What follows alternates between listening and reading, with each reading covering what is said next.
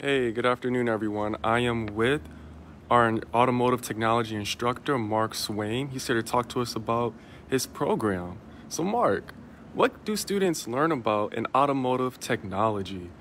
In our automotive uh, technology program, they learn all aspects of automotive repair from the, the ground up. We do minor repairs, oil changes, uh, brake jobs. They actually get to go into modern engines like this Toyota engine we have here. Uh, they also get to go into transmissions. We do suspension and steering. Anything that has to do with automotive repair. We don't do any body work or paint work here, but we do all the other repairs and the performance, the brakes and alignments and stuff.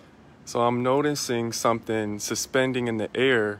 What's this? What do you all do with the cars? That is a car that was donated to us by Hyundai Manufacturing, and it's uh, actually each semester I let on certain engine classes, I let the students take the car pretty much all the way down and put it back together.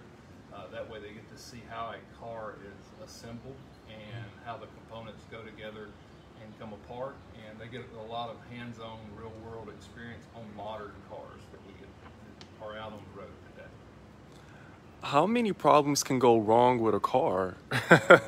I know that that sounds like an endless question. The small, you know, check engine light that everybody sees in their car, you can uh, have an average of anywhere from one thing causing it to 50 things causing that one simple check engine light. A lot of people think that you just replace a sensor and it fixes it. Well, we go into a little more depth and detail on that to be able to diagnose a part or a car where if that part doesn't fix it, how to figure out what is wrong with it modern scan tools. So an automotive technology career definitely requires great critical thinking skills. Yes, it does. And a lot of times back years ago, technicians made their money under the hood of a car, and that's how they fix things. Now, a lot of times we sit inside of a car with a computer hooked up to it, and we do a lot of diagnosing that way without getting our hands dirty, and but we know what area of the car to go into once we get out of it and go under the hood instead of going under the hood blind. Well, how much time does that save because of upgraded technology? Uh, back uh, years ago, before they had the uh, handheld scanners and the handheld onboard diagnostics, it was you know you could get into an hour, two or three hour diagnosing diagnosing a, a misfire where you had to hook up a different machine to it. Now uh, you're looking at five ten minutes most of the time. It'll pinpoint you to what area to go to, not the exact problem. So while we're talking about equipment, what equipment do we have here at Drake State that our students can get their hands on?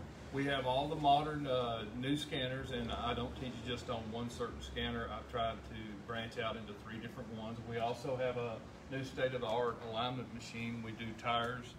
Uh, any of all of our electrical stuff, we use lab scopes, and the new scanner. Like I said, instead of going with one particular brand, I went with three different ones, so the students will learn all applications of it. What types of careers are available to students who pursue an automotive technology career? Uh, you can leave here with a, either a short-term certificate or an associate's degree in automotive technology, and you can pursue jobs as a technician at a dealership, at an independent shop, at a uh, mom and pop tire store. You can open your own business.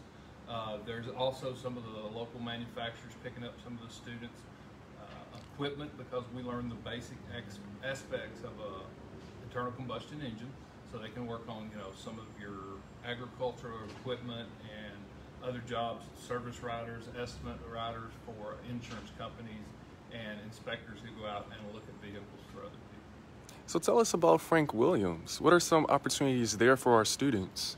Frank Williams has uh, been working with us with his dealerships he has here in town, and we've uh, formed a partnership. And he hires a lot of my students out of there and brings them in as apprentices. And they, you know, some of them start out as apprentices, some of them start out as uh, oil changers on their quick lane lube, and they continue up the ladder and they work for him at, like I think they're working at two different dealerships now, and they advance through the ranks, and uh, their goal is to keep them on as full-fledged technicians when they finish the, uh, the course here.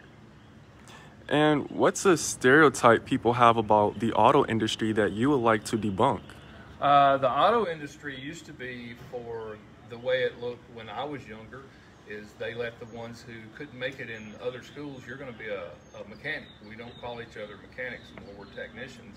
And now it's a very, very highly uh, skilled area where you have a lot of training and uh, you have to have a lot of knowledge of the internal workings of an engine, the electrical aspects of it. You have to know hydraulics uh, and the elect- like I said, the electrical laws and, and physics of that. Plus, just like an electrician or someone who works on electricity, now we're going into the hybrid and electric vehicles.